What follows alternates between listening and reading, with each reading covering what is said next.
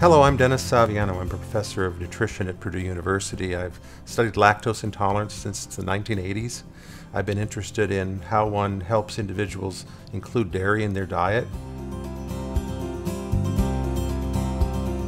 The classic lactose intolerance response would be stomach rumbling, stomach distension, and some flatulence. And if it were severe, if you had a large dose, you, you might, but it's extremely rare, have some very acute diarrhea.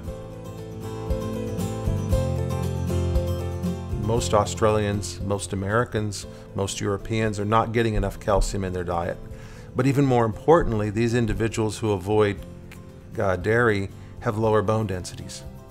We've shown in the United States with girls all the way from Hawaii to Ohio that even at the age of 13, girls who've avoided milk already have lower bone densities. The intestinal bacteria are highly adaptable.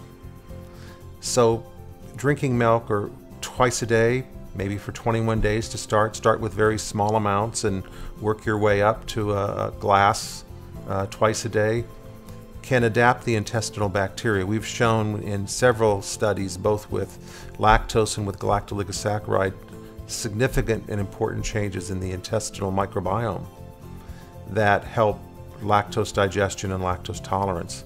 So, adaptation. If you cut milk out of your diet completely for, for a long period of time, start back slowly. A couple times a day, small amounts, work your way up. Within three weeks or so, you'll be back to being able to drink a couple of cups a day.